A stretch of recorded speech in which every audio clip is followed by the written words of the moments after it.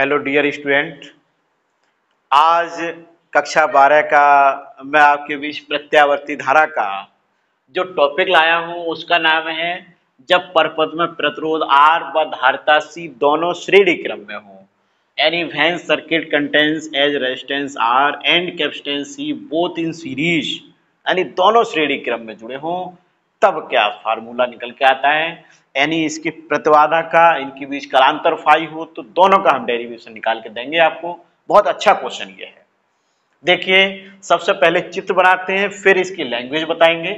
तो चित्र बनाने से आसान हो जाता है, और चित्र बनाना भी बहुत ज़रूरी है। फिर लैंग्वेज लिखनी भी आसान हो जाती है। क्या है? हेडिंग को यदि हम ठीक से समझ लें तो फिर डेरिवेशन हो, कोई भी प्रश्न हो, वो आसानी से हल हो जाता है। प्रतिरोध आर व धारता सी, दोनों कैसे हैं? श्रेणी क्रम में हैं। देखो, यानी प्रतिरोध आर और धारता सी, ये धारता सी, ये बना दिया हमने। कैसे हैं? श्रेणी क्रम में हैं। दोनों को श्रेणी श्रेणी क्रम में जोड़ते हुए ये हमने प्रत्यावर्ती धारा स्रोत से जोड़ दिया है। ये तो है आर, और ये क्या है सी? देखो, आर के सिरों के बीच विवान्तर बी आर, ये। यहाँ बिंदु मान लिया, और यहाँ बिंदु मान लिया। संधारित्र या धारता सी के सिरों के बीच, सी के सिरों के बीच विवान्तर बी सी, ये। B C. ये देखो और प्रत्यावर्ती वोल्टेज की समीकरण V बराबर V zero sine omega T क्या लैंग्वेज लिखेंगे? कि माना प्रतिरोध R व धारता C को श्रेणी क्रम में जोड़ते हुए प्रत्यावर्ती धारा स्रोत से जोड़ा गया है। लिख लो सबसे पहले लैंग्वेज लिख लो। देखो, माना प्रतिरोध आर धारता सी। को, श्रेणी क्रम में जोड़ते हुए, किससे जोड़ा गया है? प्रत्यावर्ती धारा स्रोत से। प्रत्यावर्ती, धारा, स्रोत से जोड़ा गया है। देखो, एक चित्र और बनाएँगे। देखिए बी आर बी आर क्या है? प्रतिरोध आर के सिरों के बीच विभांतर और धारा आई ये समान कला में होते हैं। धारता सी के सिरों के बीच विभांतर बी सी ये धारा आई से कला में 90 डिग्री पश्चिमी होता है। और जब प्रेरकत्व हो तो प्रेरकत्व के सिरों के बीच विभांतर बी एल धारा आई से 90 डिग्री पश्चिमी होता है। और ये कैसा होता है? वो अग्रगामी होता है और ये कैसा होता है? पश्चिमी ये ये बना लो। यानी कि प्रेरकत्व हो तो विवांतर अग्रगामी।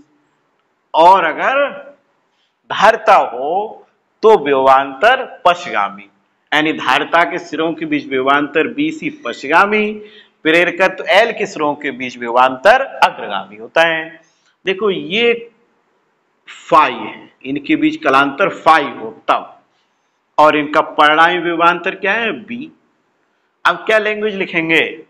प्रतिरोध आर के सिरों के बीच विवांतर बी आर तथा धारा आई समान कला में है, एवं धारता सी के सिरों के बीच विवांतर बी सी कला में धारा आई से 90 डिग्री पश्चिमी है।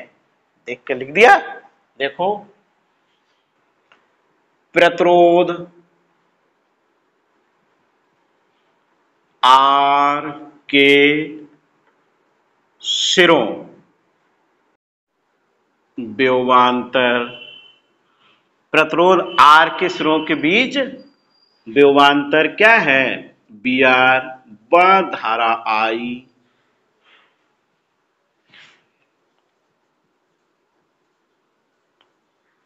समान कला में है एवं धारता सी के सिरों के बीच व्योवांतर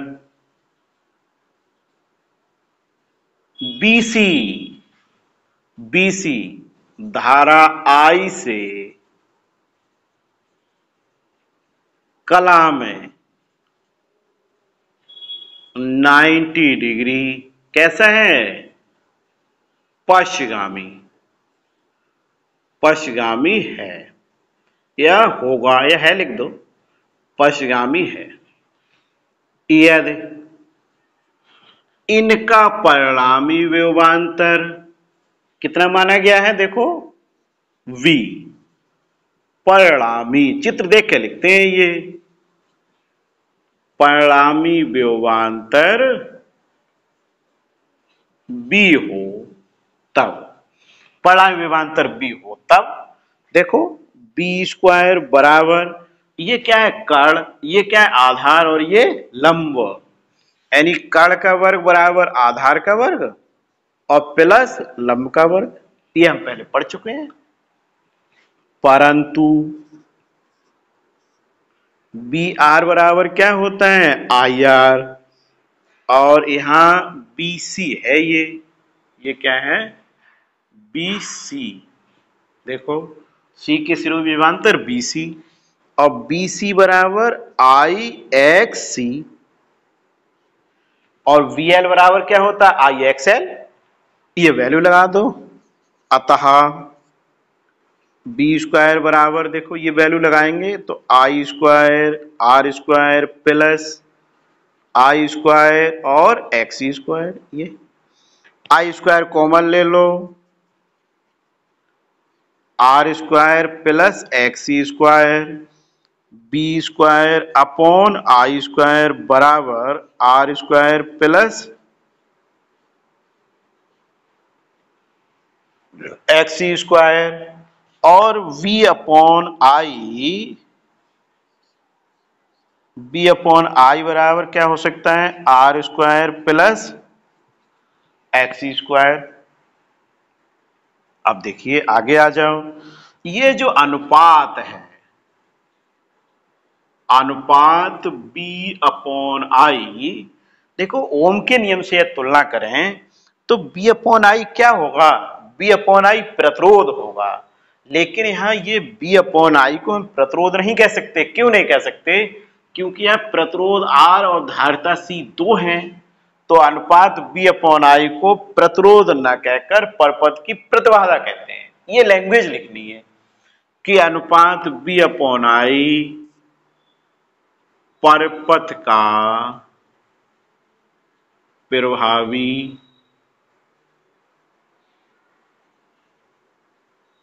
प्रतिरोध है। कैसे है? ओम के नियम से तुलना करें। बी बराबर आई आर होता है। प्रभावी प्रतिरोध है। अतः इसे देखो और लिख दो चूँकि चूँकि यह किस किस के कारण है? प्रतिरोध आर व धारिता सी दोनों के कारण है। चूँकि ये प्रतिरोध आर धारता सी दोनों दोनों के कारण है। अतः इसे प्रतिरोध न कहकर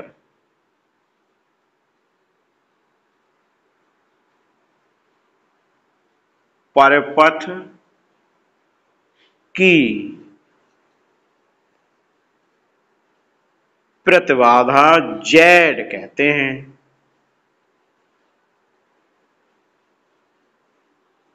ये लैंग्वेज लिखनी होती है। यानी अनुपात, बी अपॉन आई परपथ का प्रतिरोध है। चूँकि ये प्रतिरोध आर व धारता सी दोनों के कारण यथा से प्रतिरोध न कहकर परपद की प्रतिबाधा जेड कहते हैं। ये अब क्या हो जाएगा? यानी जेड बराबर, देखो, R square plus X square. ये डेरिवेशन आ गया। एक्स बराबर one upon omega C X बराबर वन अपॉन ओमेगा सी हम पहले पढ़ चुके हैं ओमेगा बराबर टू पाई एफ़ भी पढ़ चुके हैं, ये तब लगाएँगे जब आगे पूछा जाए और वैसे तो यहीं तक पर्याप्त है। अब देखो इनके बीच कलांतर क्या है? फाई ये देख लो। यदि इनके बीच कलांतर फाई हो तब तब देखो टेन टेन फाइव बराबर क्या होता है? लंब बटा आधार। लंब क्या है? वीसी आधार क्या है? वी आर यानी कि BC upon B R BC देखो क्या है? आई और बी आर क्या है? आई आर यानी कि I XC upon I R I से आई कट गया। तो tan phi equal to XC upon R ये आ गया। Tan phi equal to X upon R हो गया। अच्छा एक्स बराबर वन अपॉन ओमेगा सी लिख सकते हो? तो मैं और लिख देता हूँ। Phi equal to tan inverse X की वैल्यू लगा दें अगर वन अपॉन ओमेगा सी तो क्या आ सकता है? One upon omega C R ऐसे भी लिख सकते हैं। लेकिन ये ठीक लग रहा है, यहीं तक छोड़ देंगे। ये कंप्लीट हो गया। अच्छा एक बार फिर समझ लो। क्या था सबसे पहले लैंग्वेज यानी चित्र को देखा और वो हेडिंग देखा, चित्र बन गया, फिर चित्र को देख के लैंग्वेज लिख डाली। बहुत सरल। देखो प्रतिरोधार धारता सी श्रेणी क्रम में है। इनके बीच विवांतर यानी प्रतिरोध के बीच विवांतर बीसी धारता के बीच विवांतर बीसी और ये प्रत्यावर्ती वोल्टेज की समीकरण दे रखी है। ये देखो ये कहाँ से आ गया? ये हमें वो सिंगल वाले याद होंगे तो फिर बहुत जल्दी जल्दी होता चला जाएगा। देखो, ये लिख दिया हमने। बहुत सरल, बहुत अच्छा डेरिवेशन है। इसके बाद L C R L C R L ये सब कराएँगे। डबल डबल वाले तीन है, एक ऐसा है जिसमें तीनों हो एल सी आर और तीन सिंगल। सिंगल वाले हैं, केवल प्रतिरोध, केवल धारता, केवल प्रेरकत्व। तो बहुत अच्छे डेरिवेशन ये हैं और इसको तैयार करेंगे। नेक्स्ट वीडियो में अगला लेके आते हैं। Okay thank you